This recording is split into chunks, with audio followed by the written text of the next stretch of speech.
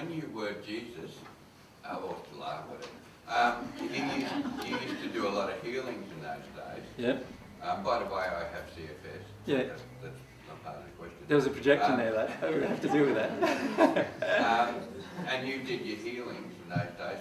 Do you find you have, if, if someone gets a healing, that it's basically healing the cause to the problem and then the physical um, um, hang, hang, hang on to that, which is the biological problem, the physical problem, Yep. um, goes away because there's a reconciliation within that person spiritually. Yeah, um, yeah, it's important to understand what's happening with healing.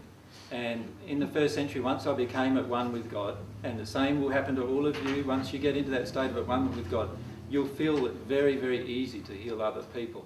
But you'll also have some very strong divine love constraints, if you like, against uh, upon that. When I say divine love constraints, there are certain laws involved with divine love, and we'll talk about some of them today, that actually limit what you may do because of free will.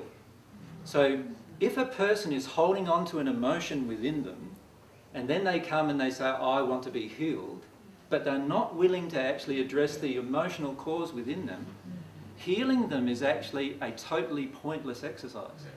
Because what happens is if you heal them, they would just recreate the illness again through their emotional condition.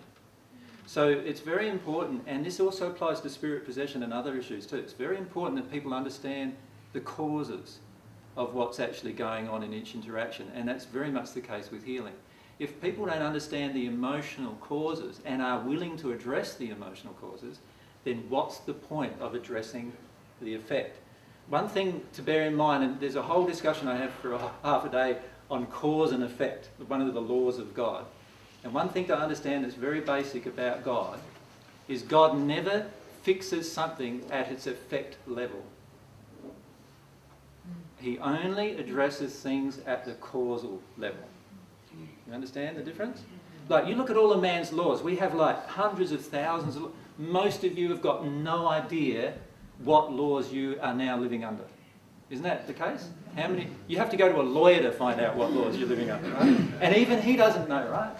He has to get out the whole taxation volume thing above and slap that on the table, and he has to get out all these other laws. And, and you know, that's why they study for so many years to get to that condition where they even know how to find the law.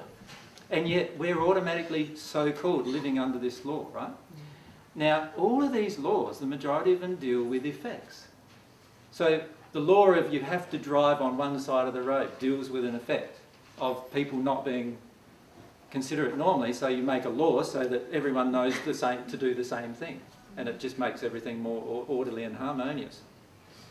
And you can look at a lot of laws, like the law about speeding is one of those laws.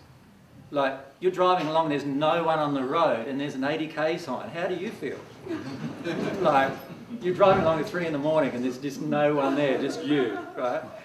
And, and there's an 80k sign comes up after 110, and you're looking around going, why am I doing this right? But if there's like the whole place is packed with traffic, an 80k sign might be far too fast, right? You might need to slow right down to 60 or even less because it's not actually addressing the cause of the problem. All of these signs and all of these laws. God only addresses causes. So it's very important to understand that is also a principle with healing. God will only address the cause. So God's divine love will not enter a person to address a, an effect of a thing that's inside of them that has a cause if they are unwilling to deal with the emotion.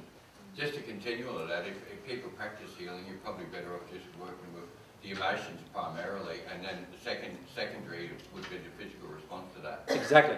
You know all the spirit body work that you can do, like you know you can do a lot of spiritual healing work with chakras and so forth, and get all of the energy points in a person's physical, uh, person's spirit body working properly.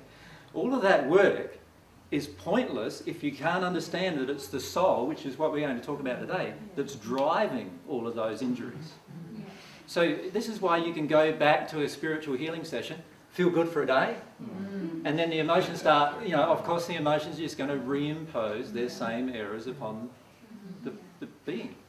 And so what's the point in solving the physical problem when the emotion that created the physical problem still exists within the person. All you're going to be doing is making them reliant on you. Now, God doesn't do that, but there are lots and lots of six sphere spirits and spirits on the natural love path who will do that constantly. Yeah. So, so there's a lot of healers nowadays who are healing people fairly well, but they get injuries again back later. And the reason why is because there's a lot of natural love spirits who are healing the person for whatever reasons the natural love spirits have to do it, but not respecting this law of cause and effect in, in, that's happening upon the soul.